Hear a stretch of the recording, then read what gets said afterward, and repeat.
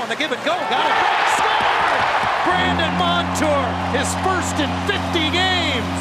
And that's a weight off that young man's shoulders. And it's production from the green. Couple of good elements here. Number one, get your feet moving from Montour, give and go. But look at the traffic in front of the net. Derek Grant was down there. The Canucks did not allow their goaltender to get a peek at the shot by Montour, and it's perfect. May have gone in off of the stick. Now Henrique from the corner. Centers, Kase couldn't make contact. Montour in front. Ritchie Deeks. Sprawling was Markstrom to make the save. Rebound. They're still jamming away, and Markstrom grabs the puck after stacking the pads to make the save on the in close. Step front. He's got so much time. Waits, and then Markstrom just throws the legs out. And Ritchie can't get it up and over.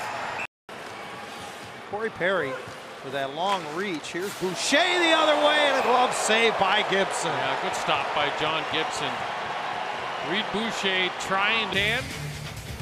Boucher with the blast. Gibson says no problem. I'll stick to my story though. Getzlaf is one of the great passers in the game today. There's a turnover, and Kelly just knocks down Dowd, sets up Chimera, who scores!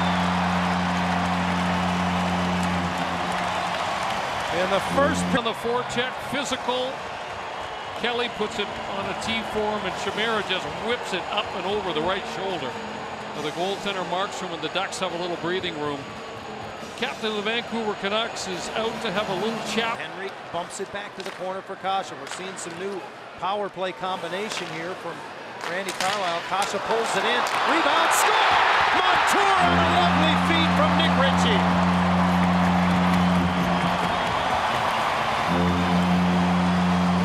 Pretty play down low. The net front presence. Here's him. I'll guarantee you Montour was screaming at him. He just taps it across, and it is a wide open slam dunk goal.